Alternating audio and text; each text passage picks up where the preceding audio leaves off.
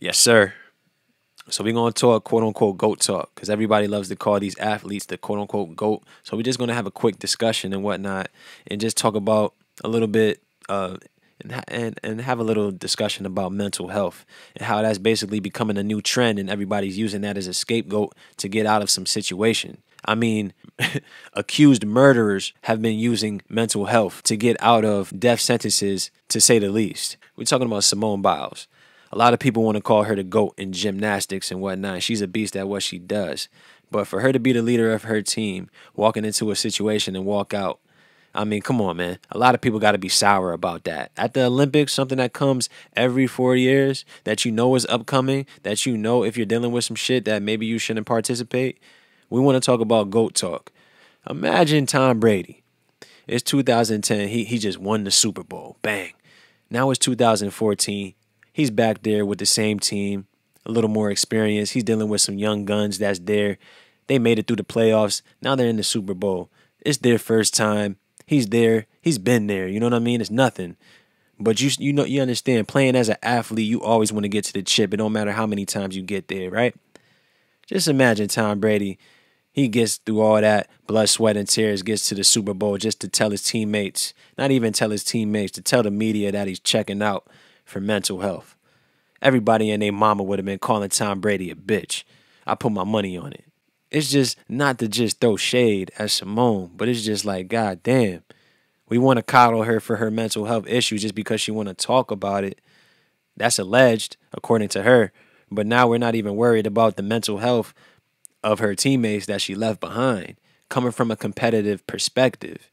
Anybody that plays sports already knows what this is about. This is why a lot of athletes play injured. We want to talk about adversity. This is what adversity is all about when you're going through some shit. This is why people will play sports because that's what they love. They got to take their mind off of what is fucking them up on a day to day basis, dealing with them demons, dealing with these issues, relationship issues, whatever is stressing you to fuck out. That's why you're playing sports because that's your solace, that's your escape from reality. That's why so many people watch sports because they don't want to deal with reality. They're looking for that escape. They're living vicariously through the individuals that are performing and competing for their country. You know what you're signing up for. We already know what time it is. Everybody gets your candles lit. The matriarchal energy is taking over. we're, we're watching ESPN. Let's just see how they want to cover this situation because we're in an era of participation trophies to where you just get rewarded just for being there, just for being a good sport. I already knew it was a wrap when I heard about that bullshit. Coming up, we only got trophies if you came in first, second, or third, or if you were the runner up in a championship, man. Give me a break. I think that people are using Simone Biles as their own soapbox. If they want to make a point about how much they love Simone Biles, good for her. Mental health is important, and it is, of course. And if they want to make a point about athletes getting softer, they say, come on, yeah, we know you have to perform. That's always been the case. I mean, y'all call athletes soft all the damn time. You you call a bunch of NBA players soft we're not gonna go down the list and talk about the names that you slander, but anybody that watches First Take, anybody that watches any sports media platform, y'all already know y'all caught a lot of people soft. Y'all say that NBA players in this generation is soft because of the technical fouls that get called, the fouls that get called, the flagrant fouls. And, and the basically the style of play because it's faster, it's less physical. So we're not gonna go down that line. And there's the truth. There's truth to that too. Um, uh, so I, I think people are trying to kind of using this to make a point. My feeling about Simone Biles is she is not obligated to compete as long as she's not like uh, is she hurting Team USA? Did she pull out in such a way where she wasn't good? Her points wouldn't accrue to. No, she waited until that wouldn't be the, like she competed as far as it wouldn't hurt them, and now it hurt us. And now it's like, okay, I want to step back. I'm not feeling it right now. That's okay. What I notice is, and she's the greatest of all time. Like, I, I don't know if people want to make the point, well, you can't be the greatest of all time and still do this sort of thing. Well, obviously you can, because she is the greatest of all time, and she's doing it. Um, but what, what occurs to me is you see Simone Biles doing this, you saw um, uh, Naomi Osaka doing this, and we are living in a time, like, why all of a sudden is this happening, right? To high profile athletes, women, you know, some of the highest profile female athletes in the world. And I think it's a combination of social media which has created more media and therefore more criticism, more negative media. Um, I would imagine, I'm not a woman of color, but Kimberly, you can talk to this more directly. Shit, you sure talk like it though, Max. I mean, you sure do talk like a woman of color, or just for just a woman in general, bro. And I imagine particularly for uh, women of color. But I, but I would also say that that along with that added pressure and added negative stuff coming people's way, there's also empowerment, you know? And so you can feel that added pressure, but you can also do something where is the empowerment of stepping out, showing that you're mentally weak for this situation? A lot of people are going to think like that too. Not saying that she's mentally weak right now, but anybody that just feels like you could just step out of a situation because you're not feeling good or you got something on your mind and whatnot, it just like that's what makes you great. That make that's what gets you through whatever you're getting through because you shouldn't be dwelling on any situation for that long anyway. You need to move on something is bothering you for that long, that means you're spending too much time thinking about that shit. Get that shit off your mind and do what you love. You wouldn't have nothing to talk about or stress about. I mean, damn, I understand. We going through shit on a day-to-day basis. We just trying to stress less. Why stress more? Got it. Athletes are now more empowered by some of the same kind of mechanisms that create the pressure, including social media. And so now, if they are feeling this added pressure and they're feeling like, you know what, I'm not feeling this right now, they actually have a say in what happens. And I think that we're like the, uh, Naomi Osaka and now and now Simone Biles um, are reacting to the time and place and the, the, the kind of pressures that of their the time and place in which they're competing. But they also have uh, remedies for that. Look, you know what? I'm going to take care of myself. I'm going to take a step back, and I would just reinforce again the idea that for those what what what the hell are you trying to say, Max? Man, you you over here stuttering and all this bullshit, trying to come up with something slick to say that makes sense, but you can't talk because you have nothing to talk about though. Like, what the hell are you trying to say out here? We're talking about athletes that know what time their competitions come around, but you want to step out when that competition comes up. When you only have a certain amount of competitions to compete in, it's like, what the fuck? You got an off season and everything that you compete in but you want to step out in the heat of the moment. That just doesn't make any fucking sense. When you could just announce that shit in the off season, and then there wouldn't be anything to really be talking about other than you're not going to be there this year. What to expect? Maybe the next competition that you're involved in. You know what I mean? We wouldn't be talking about, or you wouldn't be having all these ideas or opinions. One word on one side talking about you're courageous. On one side, you quit on your teammates. It wouldn't be all this bullshit if you would have announced this in the off season or something like that say, well, then you can't be the greatest, but she already is. Mm-hmm. So obviously you can be. You want to go, Kimberly? Oh. Oh, go ahead, Kim. Yeah, go ahead, Kimberly. Oh, uh, first of all, I'll just say Simone Biles had already solidified herself as the GOAT. Tokyo was going to be the icing on the cake. There was nothing that she was going to do that was going to make us say, oh, now she's really the yeah. GOAT. Um, as somebody who covers athletes, as somebody who's covered baseball, football, basketball, I've watched uh, Major League Baseball pitchers have the yips. I've had talked to baseball players about what the hell does that have to do with anything when anybody that's participating in these sports are dealing with the yips, dealing with butterflies, that anxiety that you're getting when you want to make a play, when you're trying to predict the outcome, when you're trying to make a move before your opponent does? Things like that. Everybody got the yips, man. Pressure bust pipes. That's what this comes down to. You it's okay to not be perfect. We understand living in this highlight social media planet to where we don't see the flaws on your Instagram page. We only see your highlights. It's okay to not be perfect. That's why you have your teammates to pick you up and to make you get on your grind. She didn't put up her best performance, and then you want to step out talking about they should be fine with the fucking silver medal. Who are you to tell them what they're going to be fine with? Everybody's dealing with pressure in sports, dealing with pressure in academics and everything, but you can't check out in the middle of the SAT talking about you're dealing with mental health issues. What are you talking about? In all situations, you're going to have to deal with adversity. When did everybody become so damn soft and weak minded to where you feel like you could just check out in the heat of the moment, bro, and shit on your teammates? You did all that preparation, all, the, all that time in the off season or in the off years for you to check out this not just about Simone Biles, but just in anybody that's in a team situation. just coming from the perspective from everybody that y'all want to call quote unquote goats. Just imagine LeBron checking out on a game six, down three to two, because of mental health. Cons- um, consulting a sports psychologist. Um, the pressure is real. I think what, as Max was saying, what's happening now is that athletes are finally being honest about the burden. You know, I was watching the Olympic coverage over the weekend, and I noticed a Simone Biles interview where she said she talked about how at 24 she felt it in her body. The, the injuries felt she doesn't.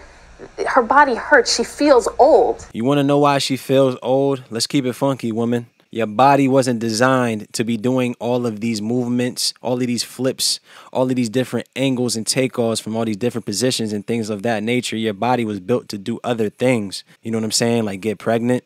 A lot of people are gonna hate that comment, but yo, it is what it is. Why you think your joints, why you think your body feel all old? Because you've been flipping since you was eight years old and now you mid twenties and you got back problems. Like your body wasn't designed to be the way it is. You could lift all those weights, you could do CrossFit and whatnot, but you're gonna feel it one day. And of course, I was like, wait, what? At 24, she feels old? And then she started talking more about the pressure and how she she worries about the the routines and injuring herself as she's doing the routines and that's something she didn't feel when she was 19 where she just kind of felt carefree and said i'm just going to go for it i think it's good that athletes now are saying no i'm not okay because most of us aren't. Day to day, it's only good when this comes from a woman. If it's coming from a man, then that man is weak. He should retire. What is he thinking? He needs to get it together. He needs to call his agent. All this type of bullshit and slander y'all gonna throw at the men's direction. But when it's a woman, this is perfect. This is good for sports. We need more athletes to be honest about what they're dealing with in the locker room hour to hour? In real life if we're really going to be honest all of us can can understand what that feels like.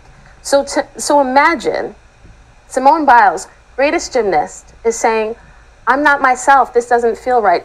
The the courage it took for her to to say that to admit that to not be able to compete is huge. And a lot of people right now are it's awfully courageous to make that move after you don't perform at a top notch level or what was expected of you. It's very easy to step out after that.